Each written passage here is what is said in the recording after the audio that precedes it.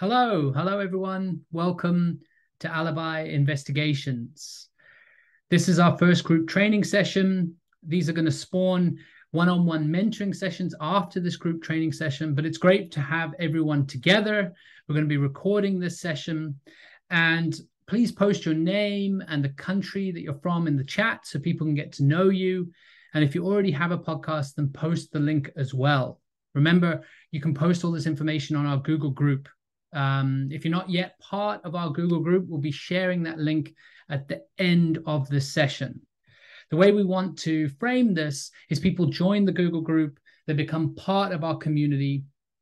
There are forms to fill in which can share your investigation ideas. And then from there, we go to the group sessions, which is what we're part of now. And from there, we go to the one on one sessions. And hopefully, the one on ones will really allow us to dig into your story. What's most important is that this is a community. So we want to build a powerful group of African investigative podcasters. We want you to all connect with each other. The way we've envisioned this is so journalists are the freelancers or people who work in newsrooms can connect with each other. And in turn, that will connect newsrooms. In turn, that will connect editors and managers and will kind of create something not just of a community, but of a force that is really important when it comes to holding people to account. Because ultimately, we want to create more investigative journalism. And the medium that we've chosen is to do this through investigative podcasts. So we want to feel that this training is the start of something bigger.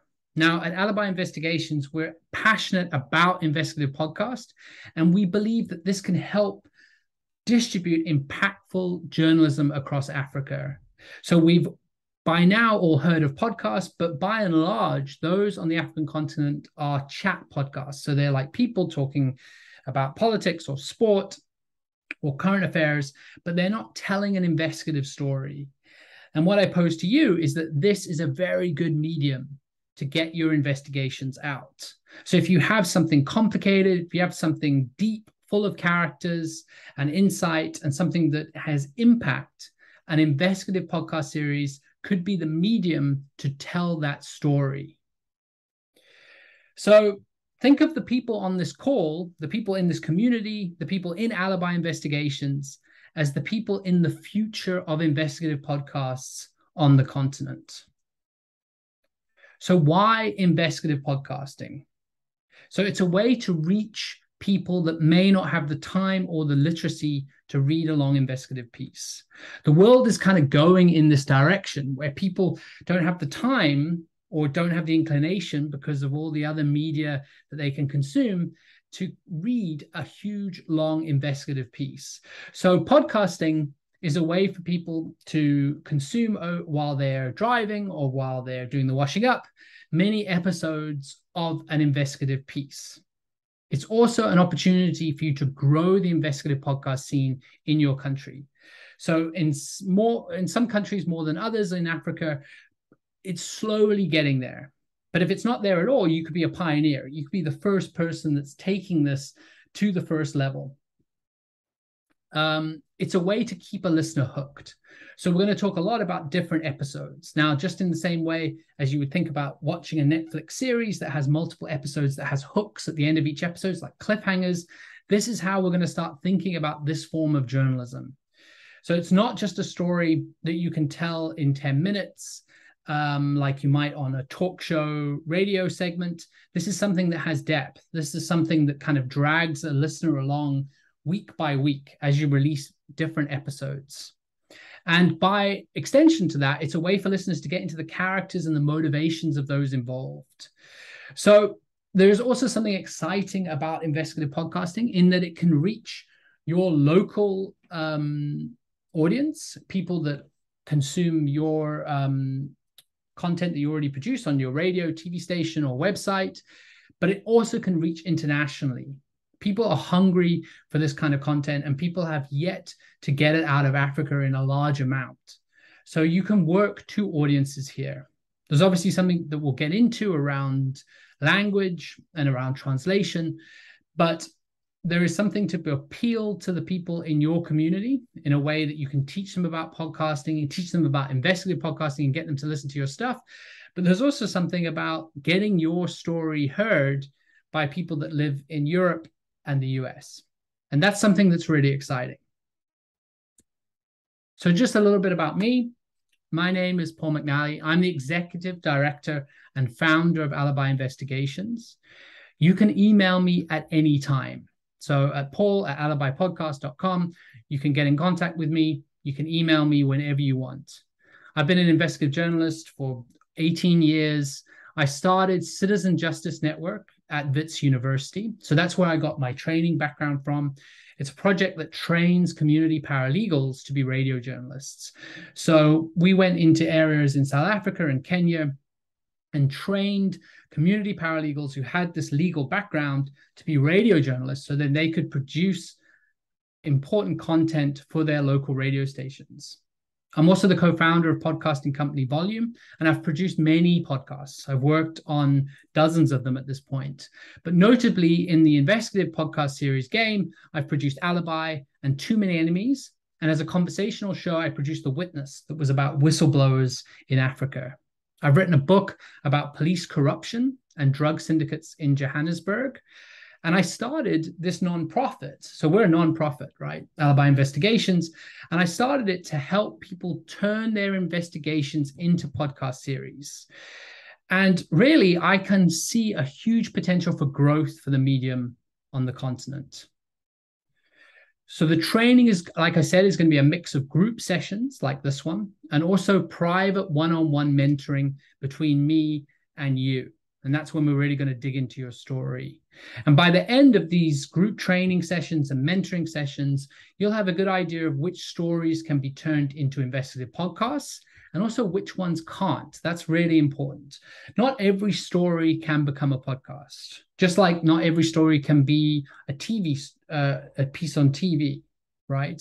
You need certain things to facilitate it to be an investigative podcast.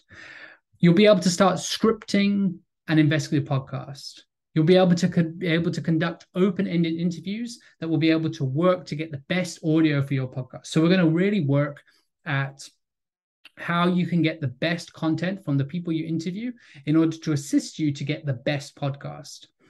Um, you'll start to have skills necessary to do basic sound editing. We're going to go into different software packages. I know that's a huge stumbling block, but we've got um, free, accessible software that we can teach you to use so you can be an audio editor. Um, you'll learn how to use music, voiceover, your voice, everyone kind of hates their voice at the beginning of this kind of process. If you haven't been on radio or TV before and you don't you're not comfortable with your voice, then we'll slowly get you comfortable with your voice. Let me tell you that you never love your own voice, um, but you do learn to live with it. Um, and also the correct equipment. Now, as you can imagine, equipment is key.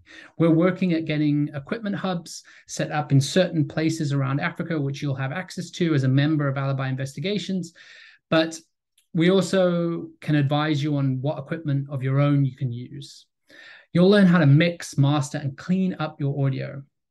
Um, and like I'll get into later, nothing um, is better than getting clean audio straight off the bat, right? But you can do certain things in post.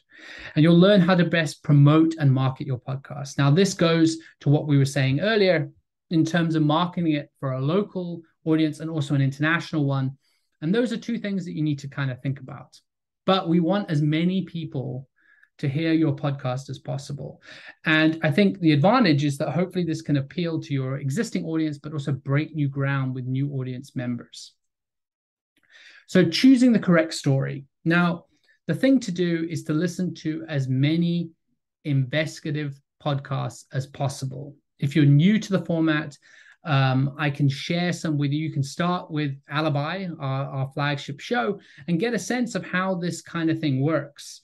Like the hooks at the end of the episodes that I was talking about, the way that um, a journalist becomes a character in a story. These are all things that are trademarks of an investigative podcast. And you can, and the more you listen to these um, episodes and these series, the more you can kind of get a sense of what they um, consist of.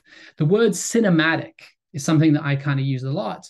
And I want you to kind of feel that even though we're going to get into the necessity of being a, still being an incredible investigative journalist and still using all those tools, this is an opportunity to tell a cinematic story.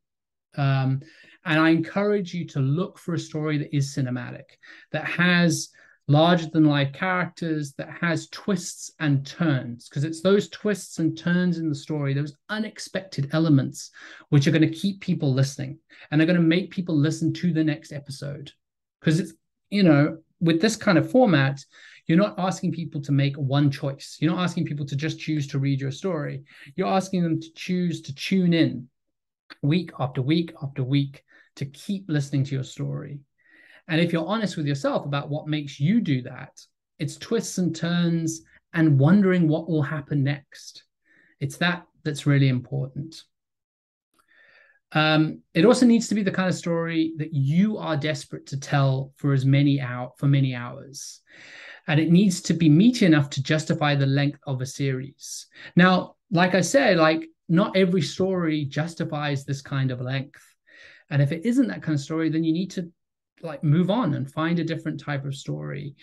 This kind of format lends itself to things that really demand huge amounts of time. And you are the best person to tell it, right? So you are really the person who's the most involved in the story. You're the person who knows it the best, or you will do once you've researched it. But you also need to have passion to want to spend the time and effort to tell this type of story.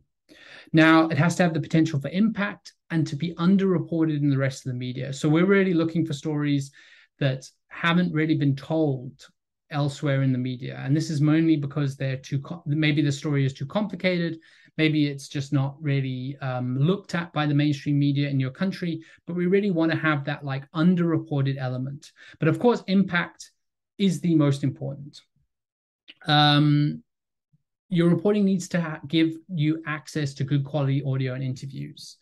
So if you have an articulate first interview with someone that's close to the story and you feel that you can interview them many times because that's the thing about this format is often you interview people multiple times over many hours. You're asking a lot of your sources.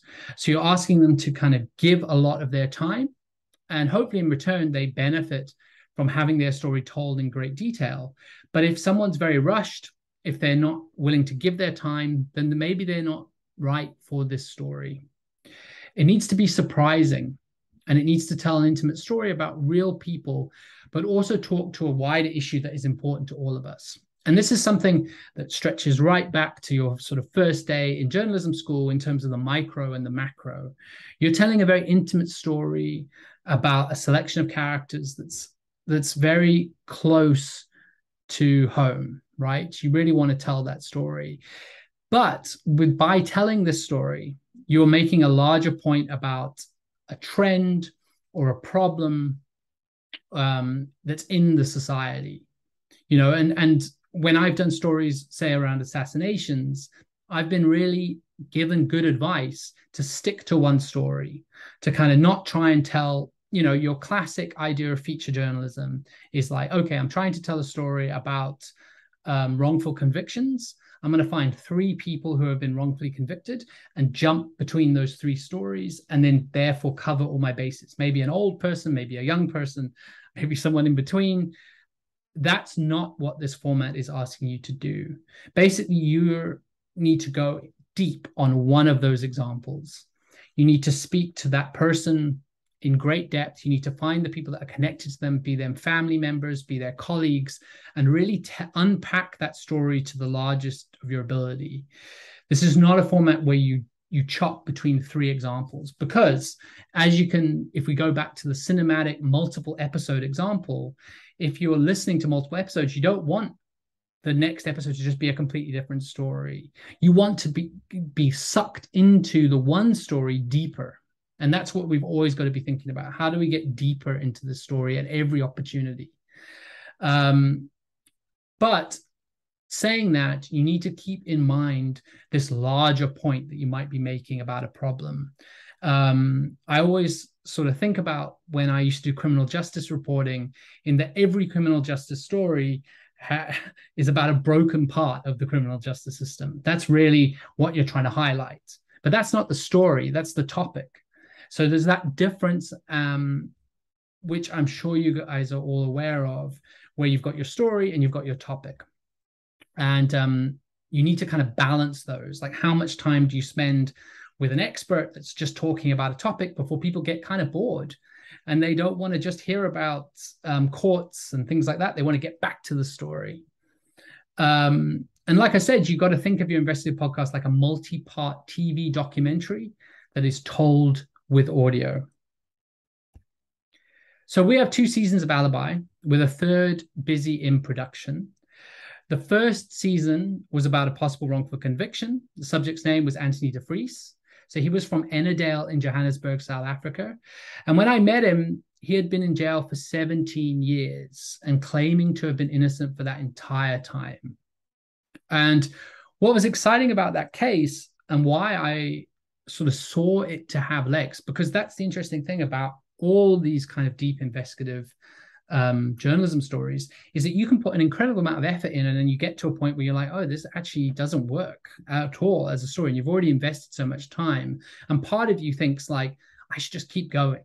But hopefully we can advise you and if your editor is involved they can advise you to drop a story when it's not working what made me think that that anthony de vries story really did work was that he came or his brother came rather, because um, he he was holding all this material, a large sack of evidence that he claimed proved his innocence. And we had all this paperwork. We had all these photos. Some of them you'll see here at the side on the slideshow.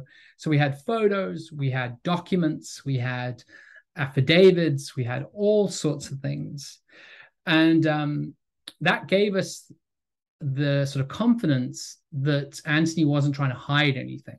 Because I think you know, especially if you work a lot with um, people that are in correctional services and they're claiming to be innocent, you know, everyone is claiming to be innocent, you know, and if someone's like, right, here's all my paperwork, you go through it and get back to me. They're not trying to hide anything. They're not trying to trick you in any way. And that's a good vote of confidence. Um, there were moments in making that story where I did feel that Anthony hadn't been entirely honest with me. And during the production of that story, instead of making those points um, secret to the listener, I really lent into them. So I allowed the listener to know that this is what happened. And I made it almost a piece of drama for the story. Like, this has happened. Anthony, we think, has lied to us. What does that mean for the story? What does that mean for his case? And also, what does that mean for his innocence? And that was a new thing for me to try and do. And hopefully, it paid off. Now, our second season was about the assassination of a high school teacher called Priscilla. Now, she was killed in front of her class, right, in the surrounds of Durban and KwaZulu Natal in South Africa. Now, it was horrendous. She's like busy at the blackboard um, teaching her class, and two men um, come in and shoot her with 19 bullets in front of all these students that are all witnesses. Uh, uh, no, no, no arrests are made. Very little investigation is done by the police. I come into it about a year after um, it has happened, and still very little has been done. Now, the key to that story, which I think is an important lesson in, in this kind of production, is that I managed to find Siya, um, who was a student who witnessed that murder, and his father, who was a cop, a local cop who was on the side, not as part of his job, but on the side, was trying to solve that case. And that's an incredibly um, relatable uh, piece of the story in otherwise an unrelatable tragedy, right? You've got this incredibly horrific murder. Um, and that, that's the problem when you're dealing with something like an assassination is that the main um, character, Priscilla, is dead, right? At the start of the story. You can speak to her family, who are very, understandably very upset. You can speak to those people around, but but in terms of trying to solve the case, it's very difficult um, when you don't like say on the first example where you've got a wrongful, a possible wrongful conviction, you can at least talk to the person who's in prison. Um, but finding Siya and his father, who were, you know, his father was bringing home mugshots to his son every night and asking him to pick who he thought was the assassin. You know, that's powerful stuff. That and their journey of trying to solve this case ultimately became the story of the podcast. So even though it's about an assassination and, and like to my point earlier, the macro idea to the larger idea of assassinations, it's about in the country and um, to the continent, but it's the the intimate part of it is this young boy, young man, and his father who are desperate to kind of get some catharsis. Because I mean, Siya was incredibly traumatized by witnessing this, as you can imagine. And he felt that if he managed to find the killer and find the person who ordered the killing, you know, right? Because obviously, in any assassination case, you've got these assassins who are just paid, you know, and you need to find the person who's paid them. Um, he found that if he, if just by going through that and trying to figure that out for himself, he was trying to, he was getting some kind of catharsis. Okay, so like I said earlier, you still need to be an investigative journalist in this format. Um, so even though it's a podcast, you have to follow the rules. You know, you have to protect your sources, even though it's audio. If you if you're used to doing it in print, um, some people might not want to be recorded. Um, you can. We've done this in the past on certain seasons and interviews. We've hidden people's voices, made them kind of sound mechanical. Um, but sometimes people don't even want that. So We've also done things where we've not recorded anything and you just have to narrate what has been said.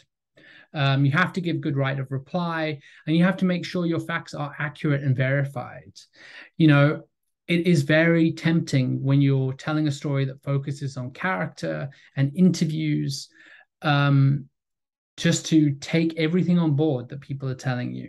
But just like every other journalism medium, you need to make sure that what you t- what people are telling you is fact. Um, and then a piece of advice that was told to me many years ago that I, I find really uh, beneficial for this kind of reporting is to report against your story because it's so easy um, to take a certain type of route that's like say it's a possible wrongful conviction to immediately assume that the person who's speaking to you is is telling you the truth and they have been wrongfully convicted. And that's the story. That's the story you want right um, but it's so much more powerful if you try at every turn to report against that story. So you're trying to not prove that he's innocent you're trying to prove that he's guilty.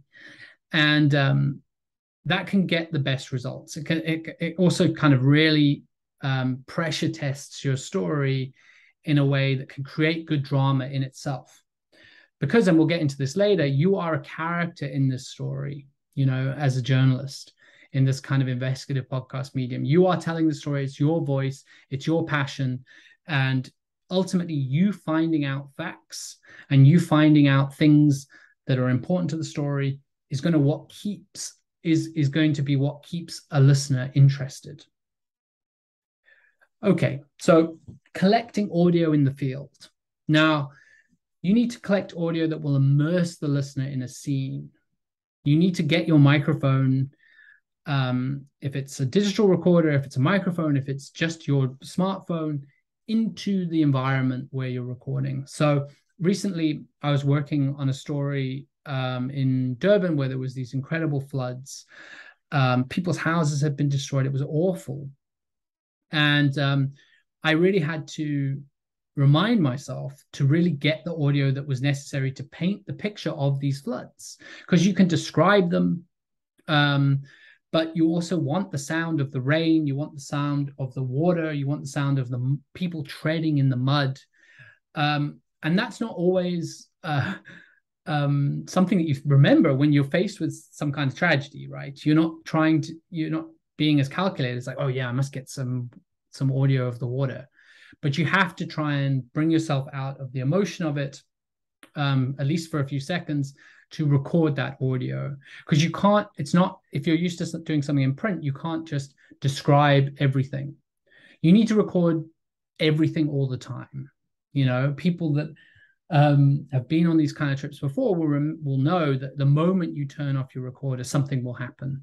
You know, before you get out of your car um, to go to the field, you need to record, be recording. You know, everything needs to be recording all the time. It's it's a pain because you'll have so much tape, um, but it will be worth it. Now, you might feel you want to narrate an incident as it happens. So, like on this example, when I went to the floods, I was sort of climbing around and kind of getting out of breath. And um, I did some moments where I was narrating into my recorder, this is what I'm seeing. And it is it is kind of effective. It is effective more than when I you just record voiceover at a later stage in a studio. You're kind of telling what is happening, um, and they're getting your emotion from it. Especially if you're looking at something that's a, a tragedy. But it's better to ask someone else, one of your characters, to do this instead. So you get their perspective. Because that's what you're trying to get with this kind of podcasting medium is you're trying to get people's voices. You're trying to get different voices, different perspectives. So rather than you just saying, because remember, you have control over the detail in your voiceover. You're going to add voiceover in. You can do that for as much as you want. But to get someone who's right there, who's maybe lives in the area, their perspective, what it, and you might ask some kind of strange questions that they might think is strange, like, please describe to me what you what we're looking at. And they're kind of wondering, why do you need me to do that? But you need to get as much detail from someone as possible. And that might entail asking kind of strange questions like, what are we looking at? Even though they know that you know like what has happened here even though they know you know what has happened here but you're trying to get as much atmospheric detail as possible. Okay so we're going to get really into the equipment that you are using and you know what you have in our one-on-one sessions. And a lot of this has got to do with budget. Obviously a lot of this has got to do just with your own personal taste. Like some people like some brands more than others but you need a digital audio recorder or a smartphone. But I would, we're going to try and work at trying to get people digital audio recorders, at least to borrow in certain instances. Extra mics, like a shotgun mic, really makes a huge difference. Lapel mics are expensive, but those are the ones that you just clip to your clip to your source's um, shirt. Headphones are an important accessory. You know, especially if you're using an audio recorder, you might seem a little bit um, ridiculous, like walking around. You don't need huge headphones like this to walk around with, but maybe just small inner ear ones. But it will help you know what is go- what is being recorded and if there's any problems because there's nothing worse than spending a day recording and you come back and like something hasn't recorded properly something hasn't worked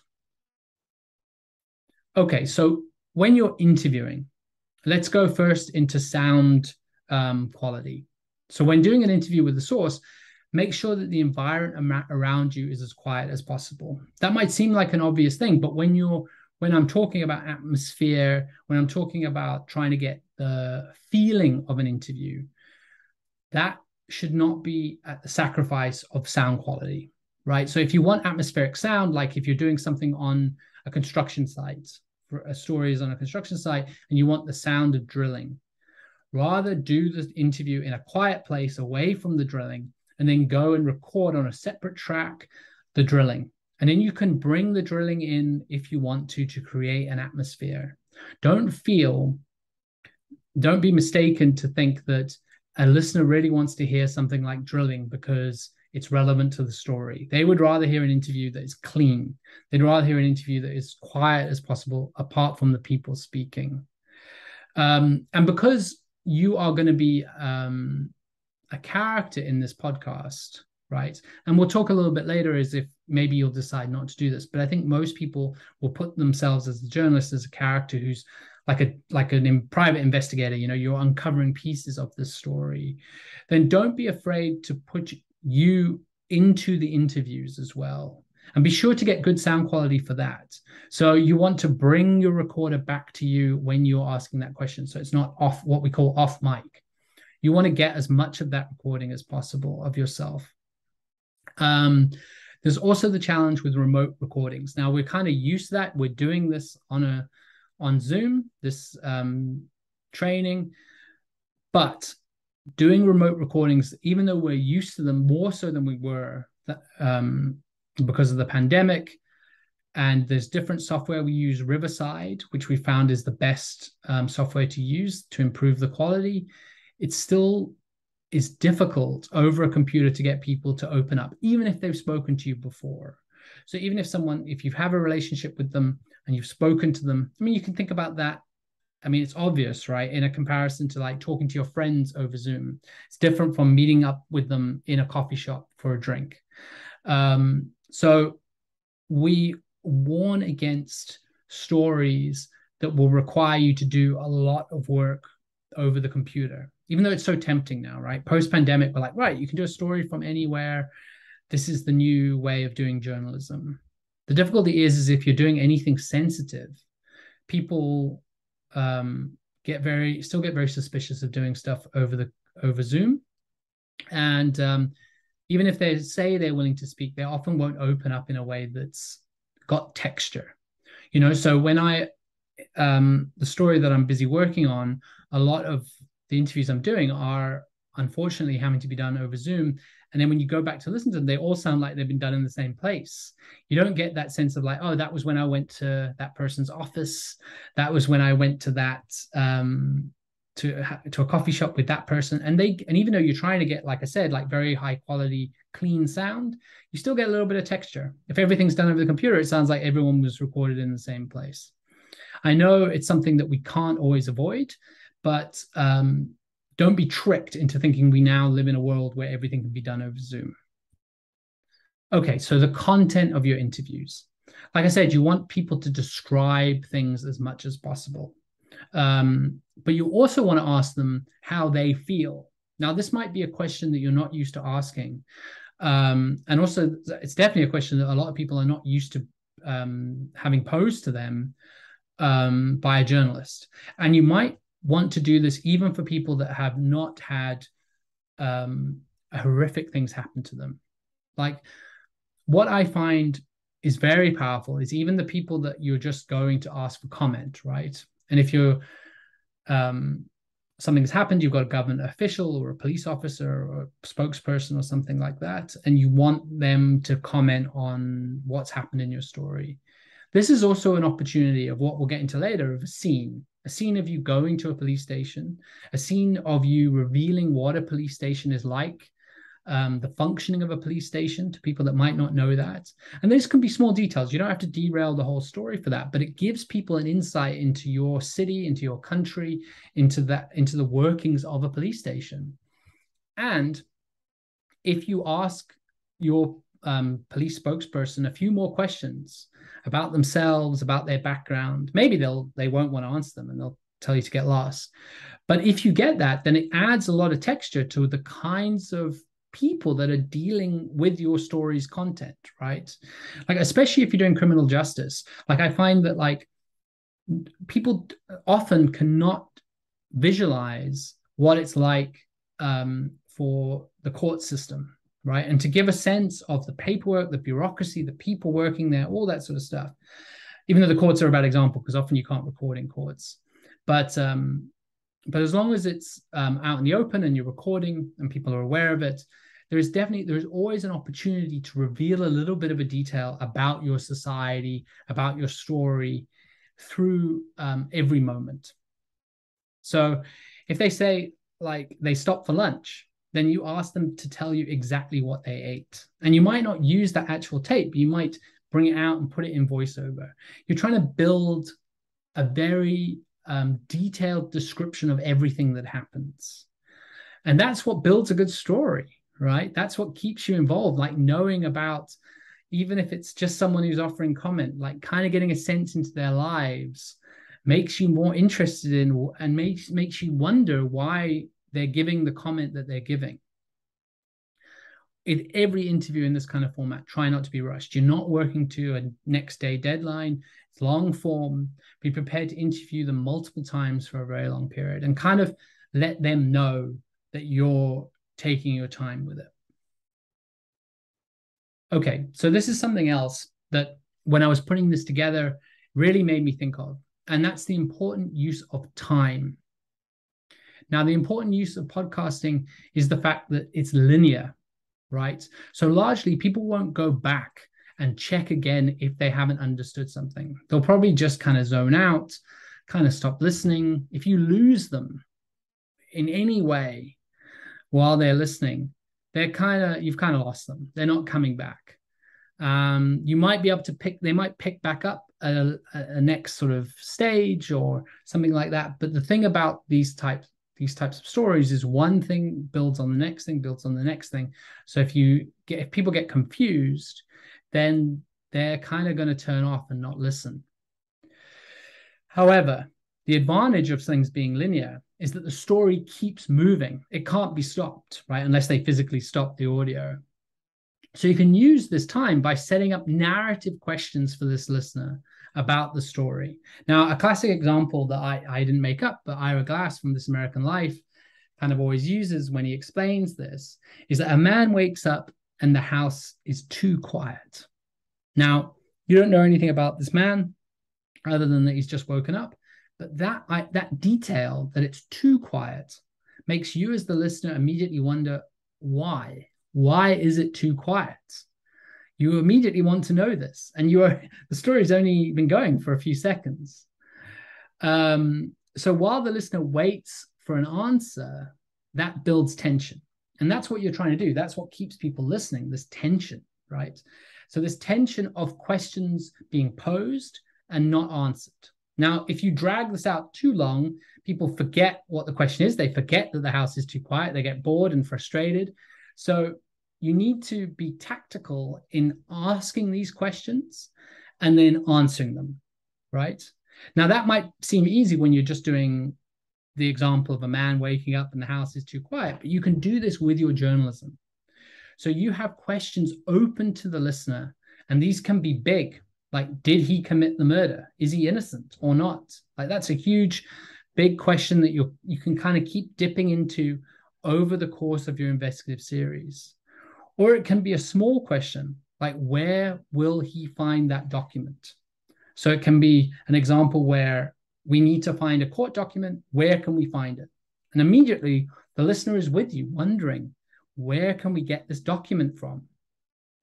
So this constant question, questioning and answering pulls you through the story. And um, that's what you can really take advantage of this tension building. So now you can move on to what are your story's main points. Now you can kind of think of your whole investigative series like it's a puzzle, right? So what is the macro uh, one-line pitch? And what is the macro greater societal story? Like what I got into earlier, in that this is about a single assassination, and the macro like societal stories. this is about assassinations in general and how the economy of violence is getting worse in the whole country and et cetera, et cetera. So you've got these micro and macro working alongside each other. But for this kind of um, journalism, you want to be asking who are your main characters, right? So what are the main themes of your episodes? And what are the main scenes within each episode? Right? So when I talk about scenes, it's true that you're kind of thinking, like I said, cinematically. A scene is you um, enter an office, you talk to someone in that office, they give you a piece of information, and then you decide what you're going to do with that information and you leave the office. That's a scene, right? And the best way to kind of convey information in an investigative podcast series is to do it within scenes. So everything kind of falls within certain scenes within your episode. But what's also crucial is the ending and what you are aiming for. And essentially, this is what the story is building towards. And this gets to the point where you've got to try and decide what ending your uh, what ending is possible and what ending you will be happy with, right? Because there is a perfect ending to every story, especially a narrative driven investigative podcast. So, for example, if it's a possible wrongful conviction, the fact that he is proved to be innocent and gets and you get him out of jail, right? That's an amazing ending to that story. The chances of that happening, every everyone knows, is very slim. Even the listener knows that, but they want it to happen. And they're going to be disappointed if they don't get their the ending that they want right? So it's up to you to try and work with expectations of what they can expect from a good ending right? So for example when we did the assassination story with priscilla we wanted to find the person who had ordered the hit. We wanted proof of the person that had ordered the hit.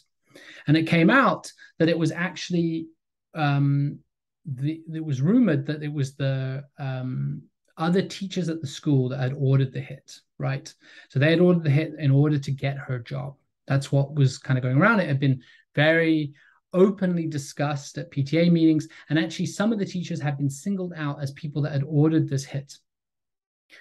Now, there was a version of that story, and, and it, that was fantastical to me. That idea that there are teachers that are ordering hits on other teachers in order to get their job just seemed insane. Now, we didn't find a perfect ending would have been like we found proof of that and we managed to get someone uh, and that proof led to a police investigation that got someone convicted. Okay that's your perfect ending. We didn't get that.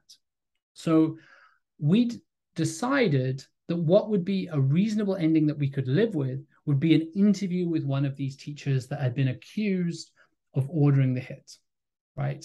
And that's what we got. So we got this interview with one of the teachers. I sat in my car. I was terrified, actually. I mean, this was this middle-aged, um, very frail woman, uh, you know, and I've interviewed huge gang members and all sorts of things like that, but no one really scared me more than this frail middle-aged woman because I kind of believed that she had ordered this hit on on her colleague. And we interviewed her about it. We interviewed how the accusations had ruined her life. We and we left it up to the listener to make a decision based on the interview that we did, um, if she was guilty or not. Right. So that wasn't. There was a. Uh, people were happy with that ending, and we were. Ult- I was ultimately satisfied with that ending, but it wasn't, as I sort of pointed out, the perfect ending. And you need to kind of, and that is constantly a moving target, right? So more so than maybe other forms of journalism, um, the ending really matters. Where like sometimes stories will just end with a comment from the person in power and they'll say no comment, the end. That's not this kind of journalism. We're looking for resolution. We're looking for an ending that kind of ties everything together and brings your story to a close in a way that is satisfying. But you can decide what is satisfying and what isn't. And you also need to work with what you're given, right? You can't just make stuff up you know, and um, no one's really asking you to do that, but they still want it to be satisfying. Okay, so scripting, I always say scripting is the most important part of this process. So you need to write with as fewer words as possible, but in a way that sounds natural for your voice. Okay, so you need it to be, um,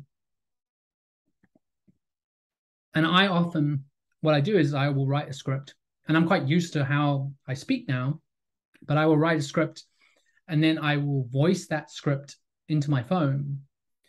Um, and as I'm voicing it into my phone, I can hear the points where I haven't really got it right for my own voice. And then I will go back to the document and correct that. So, you know, you want it, you're trying to use as few words as possible, but what's important is that someone else can't really script for you um your you at least your parts because you know your voice better than anyone and you're trying to get it to sound as natural in your voice in in your mouth as possible. If it's a word that you that you would never use don't use it right? Because that will sound unnatural. Don't be afraid to fully describe the places and people in your story. So like that old writing idea write with all your senses. What did a place smell like right? You might not be used to using those kinds of things in your journalism, but it really makes a difference, especially when you've got the audio, like I was saying, of running water and there's been a flood. What does it smell like there? That's something that the audio and can't pick up. So your description will really make it powerful. And write like you're telling the greatest story of your life. Don't hold back, right? If it's a part that you think needs more work, then research it. If it's a part that you think is boring, cut it out. It's as simple as that. But always be looking to the future. Like I was saying, in your writing, this is where this happens, right? This idea of setting up um, questions um, and answering them, it comes in your writing. always be conscious of what questions the listener is asking him or herself um, about your story and kind of play along with that. If a section is a huge tangent, so if you're writing it and you're in a scene and um, something kind of comes up that you really think will confuse or diffuse the tension. So you've got this tension, um, but you now you're going to start talking about some kind of history or something like that, or another character or something like that. Cut it out and flag it as something you will come back to later. So you can literally say the words, we will come back to this at a later stage. Because listeners like to know that there is more to come and that there's something to look forward to. And they like the idea that you are telling, you've got a handle on the story, right? That you know that there are bits coming up later that you will that you will reveal at a time that is most prescient for the story. I've kind of touched on this before, but confusion is your enemy. Interject with voiceover and explain what a source is saying if it is important. So th- this might be the name of a place, the name of a person, the name of something technical. If you feel that it needs to be in the story, um, then and you think that the listener won't understand it, then you need to cut in and explain that. You can't just let minutes of an interview roll by um, where someone might be talking about something that the in, the, the listener isn't entirely 100% sure of what's going on. Um, and that's kind of different from like talk radio where a lot where that ha- is allowed to happen quite a lot. Here we're controlling line by line um, what is being said and we're making sure that the listener really knows what's going on and what the details that are being revealed we know that they know the context of it. And to get this is to ask people to read other people to read your scripts and listen to your audio to make sure they understand um, what you're trying to say. Because you are deep into your story. You might not know which bits confuse people. You might not know which bits need to be explained. Because for you everything you take for granted of course you know who that person is. Of course you know about that. Of course you know about this.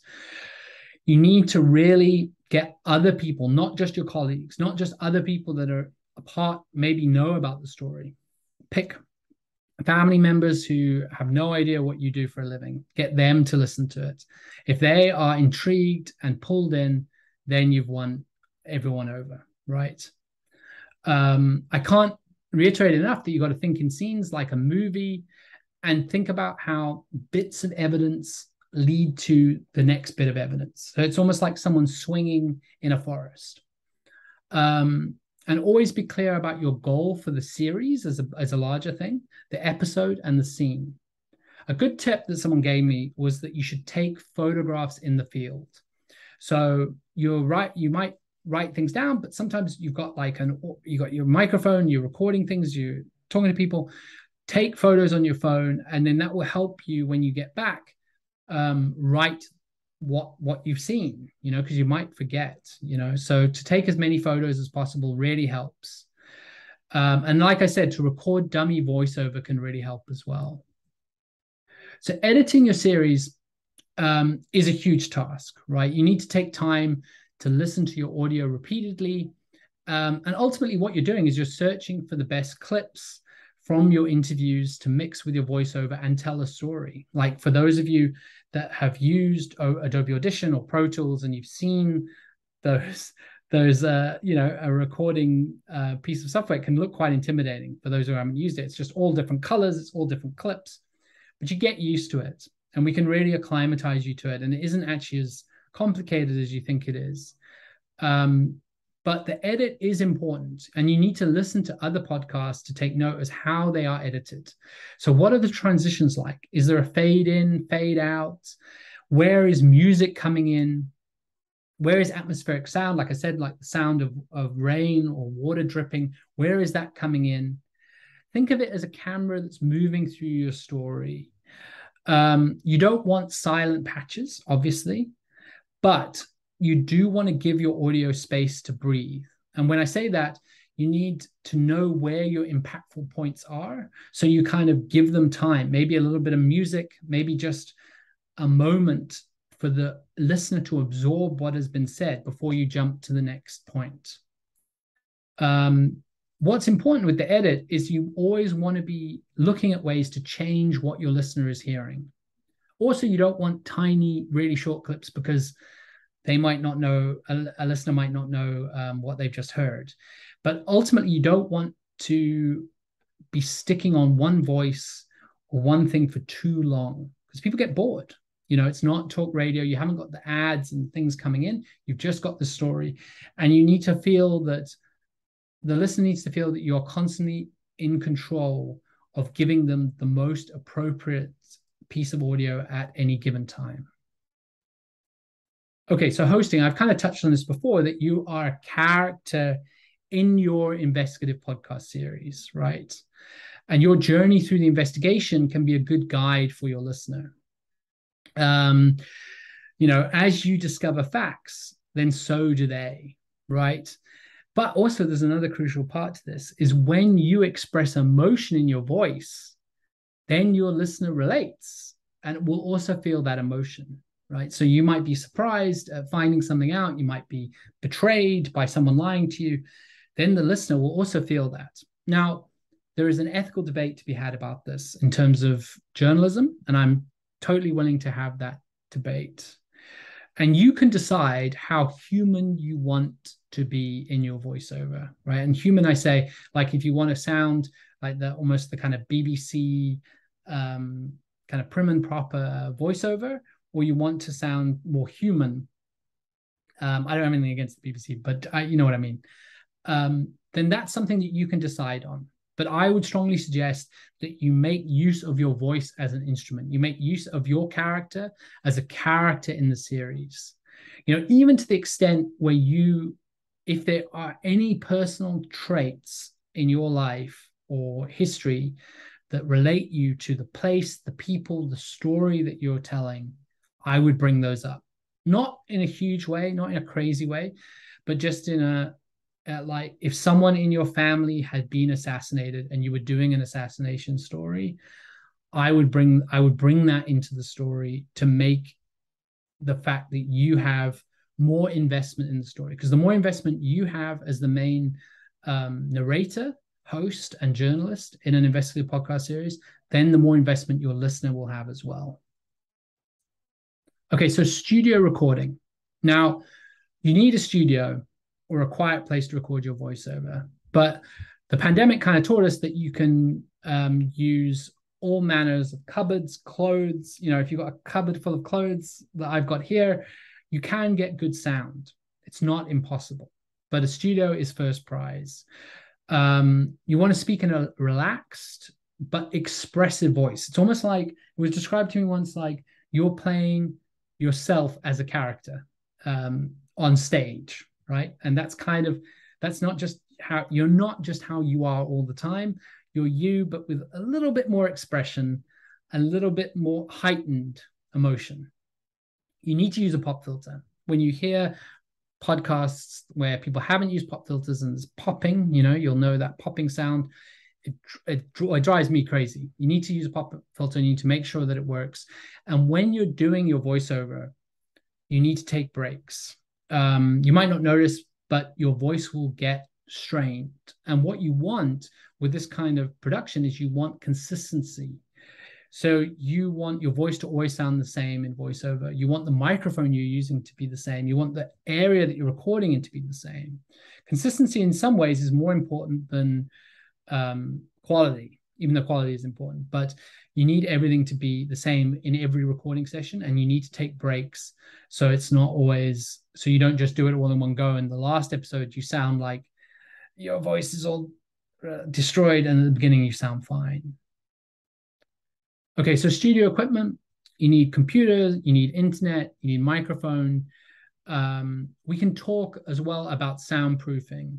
Um, like I mentioned, the cupboard, um, but there are other ways on how you can soundproof your environment to get good voiceover. Um, now, using music, I wanted to talk a little bit about how music is a very powerful tool. Now, people, uh, journalists, and executive producers I know don't like the use of music um, in broadcast journalism. So, like if they're producing a TV show, um, then they won't allow music, their journalists to use music. And I understand that argument, right? Um, I understand it because it's it can kind of be construed as manipulative. It can be kind of construed as a bias, I guess, which isn't journalistically sound. Now, I do think that you, if you overly use music, you can destroy your investigative podcast, right? But I do think it's okay to use it to enhance the emotion that you want your listeners to feel, right? Um, but use it carefully. Um, you don't want music to play all the time. You want to use it sparingly, and you need to be okay, right? This isn't if you're from a more traditional radio background, you might feel that you need to put music behind everything, but be okay with patches of people just speaking. That's also okay, right? That's what people are used to when they're listening to a podcast. They're okay with just speaking. You're bringing in music to give a breather, like I said, to emphasize a point, to give like a space where, like, okay, we're moving on to the next scene or the next part of the story, or you're using it in order to underline or emphasize a certain type of emotion. Now you can look for music for free at music at freemusicarchive.org or on YouTube. Um, there's a good program that can convert a YouTube video into an MP3. And what's great is you can build a library of music for your series. So it's almost like you have themes that you play when a when an emotion or a moment repeats itself. So if something is really um, frustrating for your main character, you might play a certain type of music. Then in the third, ep- a couple of episodes later, in the third episode, something frustrating might happen again. You can play the same type of music, and this helps with the kind of world building that you're trying to do for your series. Okay, so you can spend a lot of time or a little time mixing and mastering and cleaning your series, and it also depends on your skill level. What you do want to do is make sure that the audio levels across your different clips are consistent. So, you know, you'll know that from hearing. You don't want really high parts which make you turn the volume down and really low parts that make you turn the volume up. You know, you want to try and get them as consistent as possible. You can use programs like iZotope RX to clean background sound, but like I said earlier, these programs are not magic. So you rather want to record the cleanest sound when at first at the beginning um, and not to think like, oh, I'll just fix it later because you can't really fix everything later, right? And nothing beats getting clean sound at the outset. Um, you need to pay attention to the loudness of your episodes. And also, what's a key thing is you can listen to your episodes on different devices. So, in different environments. So, not just on your headphones from your computer, but also on your phone, on the speaker of your phone, on your earpods, in your car. This is how you'll get closer to your audience because this is how they're listening to your podcast.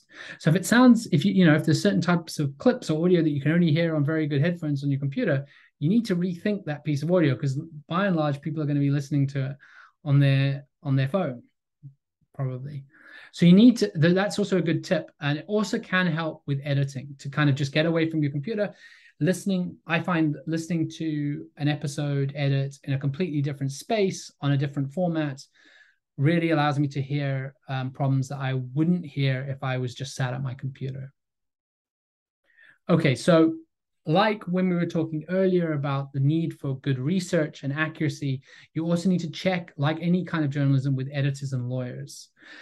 Um, it's important to know when you might be sued. You want to know, you want to be prepared for that. Um, like any lawyer will tell you, they can't make you not get sued right? Because people can sue you even if, uh, but what they're trying to do when they give you advice is that they're trying to uh, make sure you win when you get sued, it gets dismissed. So, the last series that I worked on, Too Many Enemies, which was also an assassination case, we went through a rigorous lawyer process because there was um, accusations towards top politicians being linked to the assassination and, and all that kind of stuff. It was quite very meaty story. Um, and we didn't get sued, thank goodness. Um, but also, we cut large sections out. And the thing that I was reminded of when I did that was that no one knows how great the story was before you made those cuts, but you. You need to let that go. So in my mind, I'm like, oh, this story is terrible now because we lost this whole section. No one knew about that but me, right? So, you know, the story isn't as good, right? You've got to make peace with that. And that's true. The story is not as good after you make those cuts that the lawyer makes you cut, but you don't want to get sued and it's not worth it. Like you should really, you have to, I, I don't know what the instance would be where you wouldn't take a lawyer's advice um, to make a cut, but you really, uh, I would strongly advise if they give you um, any kind of reason to make a cut, then you either go back and do more research or um, you know verify a piece of information so it holds up more than it than it is already. Maybe that's one way, um, or just cut it. That's basically it. I mean, you really don't want to be in a situation where a lawyer told you to cut something, you kept it in, and then you got sued. So we're going to be conducting risk assessments and safety protocols on your stories. So we've partnered with the Committee to Protect Journalists, and they've offered to check out your stories uh, and yourself, right? So this is something that I've struggled with my whole career in terms of risk, in terms of not really knowing, because like any journalist, you want to do the story, right? You don't want to be told that you can't do the story, especially because of risk. But we find that it's very important, especially in the, there's an increase in the world of um, attacks on journalists, and we don't want to be pushing people into situations where they're covering stories where there's a high risk um, threshold that they haven't considered, right? So part of that might have to do with there was something that was suggested to us in that there would always be someone that would take over a story from a journalist if they stopped doing it. And that to me feels like a very sensible way to kind of shout back to people that might attack journalists to be like, no matter who you strike down, the story will prevail. And I, I find that that's quite exciting. But we're going to get into that. We're going to get into the risk assessment of things. Um, like just like with the legal side of things, like I've been in situations where I've been very glad that I've cut certain things because I felt that they were too risky in order to publish um, for my own personal safety. And I've never really regretted that when I've kind of erred on that. I've kind of, it's kind of upset me for a few days, but ultimately I've been very glad. Okay, so promoting your series. Now, this can be a whole business in itself. You got to choose your hosting platform. We'll help you do that Captivate, Iono, Afropods, you upload it, you register it with all the platforms. So, like things like Spotify and iTunes, they're really just directories that will kind of show where your podcast is and give people the opportunity to listen to it. We also would suggest if podcasting is not a huge thing in your country to partner with a local radio station in order to get the show broadcast or just clips of the show of the podcast broadcast. You can look to large websites. We did a last series with News 24 in South Africa to help you with distribution. So they can help embed the audio. They take the audio for free often, they won't pay for it but that will help often with big distribution deals. Um, what can really help is for you to appear on other podcasts as a guest in order to promote the series. So if you promote the series as a guest and then you know you can kind of get the word out there in the podcast um, ecosystem use social media of course but what we have found is people rarely click through on social media so it really just works as a billboard which is useful. But it's when people are scrolling Twitter, they are not in the habit of now listening to a podcast. So they might see it on Twitter and then go to their podcasting app and search for it there. That's why you need to make sure you're registered with all these um, directories like iTunes. But they're probably not going to click straight through from a tweet. So don't be discouraged when you see the lack of traffic and engagement from your social media posts. Okay, so next is the one on one mentoring. Okay, so this is just the start, these group training sessions. We're going to be doing them every month. Um, but the next step is to book a training session one on one with me in this calendar app that I'm going to send the link to now. Um, we'll talk about your story in detail and what it will take to turn it into an investigative podcast series. So that's where you book the training session. Um, if you'd like a virtual certificate for this training session, please get in contact with me and I'll send you one. You can email me anytime at paulalibipodcast.com. Follow us on Twitter. And also, if there are any other working African journalists that you want uh, to join our community, please point them to our Google group and get them to sign up. That's how we're going to build this community. That's how we're going to do something extraordinary with all of you working together. But thank you very much for listening and goodbye.